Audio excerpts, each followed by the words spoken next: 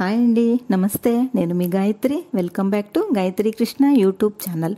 ఇవాటి వీడియోలో సింపుల్గా క్విక్గా చేసుకునే ఒక రెసిపీని చూపించబోతున్నాను. ఇంట్లో ఏదన్నా అప్పటికప్పుడు తినాలనిపిస్తే శనగపిండి ఉంటే చాలండి ఈ వామ్ కారాలు ఈజీగా చేసేసుకోవచ్చు. ఈ కారాలు ఒక్కసారి చేసి పెట్టుకుంటే ఎయిర్ టైట్ బాక్స్లో పెడితే ఒక నెల వరకు నిల్వ ఉంటాయి. బయట స్వీట్ షాప్లో లాగా చాలా చాలా టేస్టీగా ఉంటాయి. అలాగే సింపుల్గా తయారు చేసుకోవచ్చు. ఆయిల్ కూడా ఎక్కువగా పీల్చదు కాబట్టి హెవీగా అనిపించదు. ఎన్ని తిన్నా ఇంకా ఇంకా తినాలనిపించే బెస్ట్ స్నాక్ ఇది. మీరు కూడా ఈ కారాలు ఒకసారి ట్రై చేసి చూడండి. తక్కువ టైంలోనే టేస్టీగా రెడీ అయిపోతుంది. వాము కూడా వేస్తాం కాబట్టి పెద్ద ఇబ్బంది ఏమీ అనిపించదు. ఒక బౌల్లో ఐదు కప్పుల శనగపిండి వేసి జల్లించుకోవాలి జల్లెడలో వేసుకోవాలి. శనగబేడలు ఎండలో వేసి పిండి పట్టిస్తే ఎక్కువ రోజులు నిల్వ ఉంటుంది.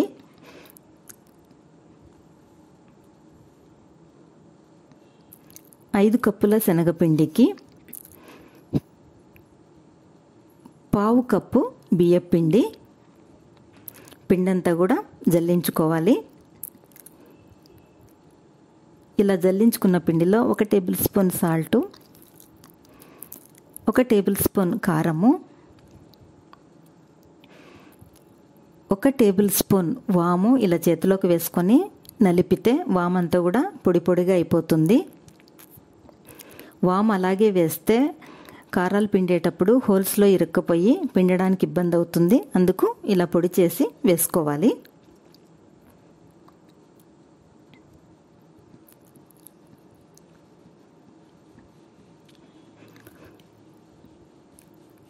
పావు టీ స్పూన్ పసుపు.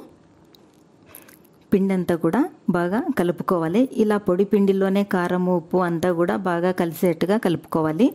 నీళ్ళు వేశాక కలపడానికి కష్టమవుతుంది. అంట కలవదనమాట ఇప్పుడు కొద్ది కొద్దిగా నీరు పోసుకుంటూ కొంచెం సాఫ్ట్గా కలుపుకోవాలి. సాఫ్ట్గా ఉంటే కారాలు పిండేటప్పుడు ఈజీగా వచ్చేస్తుందనమాట పిండి గట్టిగా ఉంటే పిండడానికి సరిగా రాదు.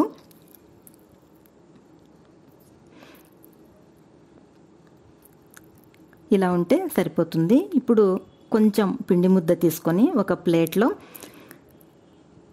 చేతికి తడి చేసుకొని ఇలా పిండి నాదుకుంటే బాగా సాఫ్ట్గా అయిపోతుంది. పిండి సాఫ్ట్గా ఉన్నందువల్ల కారాలు పిండేటప్పుడు ఈజీగా వచ్చేస్తుందనమాట ఇప్పుడు జంతికల గొట్టం తీసుకొని కొద్దిగా ఆయిల్ అప్లై చేయాలి. ఆయిల్ అప్లై చేయడం వల్ల పిండి అతుక్కోకుండా వస్తుంది. ఇక్కడ నేను పెద్ద హోల్స్ ఉండేది తీసుకున్నాను. కొంచెం పెద్దది ఇంకా చిన్నది. అదైతే కారపూసకైతే సరిపోతుందనమాట ఇప్పుడు ఇందులో పిండి పెట్టుకొని పైన దీనికి కూడా కొద్దిగా ఆయిల్ అప్లై చేయాలి. పిండి అతుక్కోకుండా ఉంటుంది.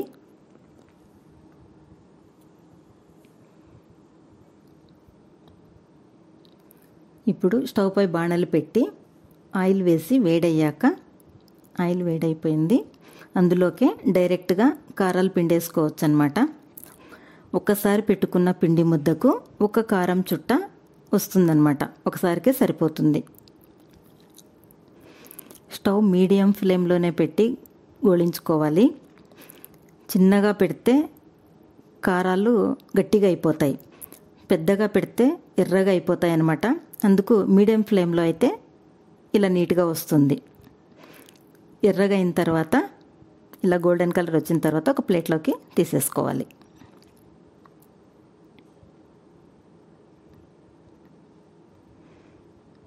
ఇంకొకటి కూడా ఇలాగే పిండుకోవాలి.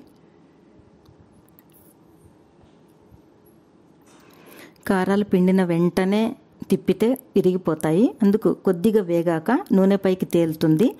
అప్పుడు తిప్పితే నీట్గా ఉంటుందన్నమాట చుట్ట విరగకుండా.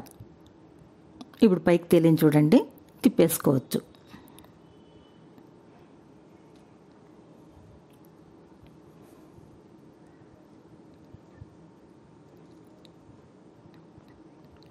ఇలా అన్ని కారాలు వేయించుకొని కొద్దిగా ఆరాక ఒక బాక్స్లో ఒకదానిపై ఒకటి పేర్చినట్టుగా పెడితే చుట్టలు విరక్కుండా అలాగే ఉంటాయి.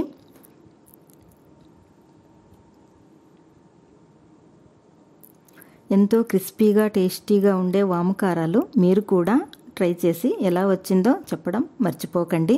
మరిన్ని టేస్టీ సింపుల్ క్విక్ రెసిపీస్ కోసం మన ఛానల్ని సబ్స్క్రైబ్ చేసుకోండి. Thanks for watching.